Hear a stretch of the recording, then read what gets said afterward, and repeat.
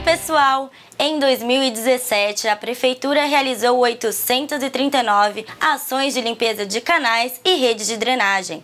Os serviços ajudaram a diminuir a sujeira e a evitar enchentes. Só na entrada da cidade foram retirados 18 toneladas de resíduos. E Santos é destaque no relatório da Organização das Nações Unidas para Educação, Ciências e Cultura. A Unesco elogiou as ações de economia criativa desenvolvidas na E a chegada do Papai Noel no tanque oceânico é uma das atrações de fim de ano no Aquário de Santos. A programação completa dos meses de dezembro e janeiro você encontra no Santos Portal. Eu fico por aqui e até a próxima!